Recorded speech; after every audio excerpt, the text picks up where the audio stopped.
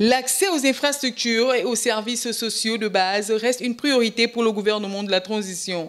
En milieu rural, où la problématique est de plus en plus manifeste, l'équipe que dirige le Premier ministre Raymond Dongsima est sur le pied de guerre afin de faire bénéficier aux populations des infrastructures essentielles. Selon les chiffres de la Banque mondiale, près de 33% des Gabonais vivent en dessous du seuil de pauvreté.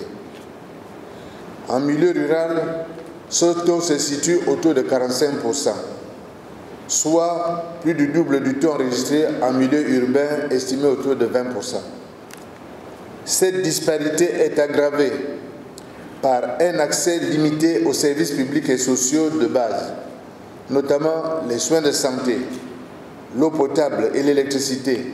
Pour réduire ces écarts, le gouvernement a jugé nécessaire de disposer d'un plan de développement consacré aux collectivités locales. Le programme d'urgence de développement communautaire se veut donc une initiative qui cadre avec les politiques publiques gouvernementales. Un tel programme pourrait participer à la résorption du chômage dès lors que son contenu, qui vise l'accès aux services sociaux de base, nécessiterait dans sa phase opérationnelle la construction et ou la réhabilitation des infrastructures communautaires telles que les écoles, les routes en terre, les centres de santé, les marchés, ainsi que la mise en place des systèmes d'approvisionnement en eau et en électricité.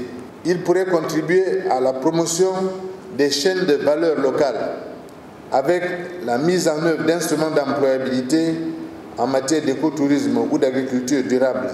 Adossé au plan national du développement de la transition, le programme d'urgence de développement communautaire cadre avec les ambitions affichées dans la feuille de route gouvernementale du CTRI, laquelle accorde une importance dans le transfert de compétences.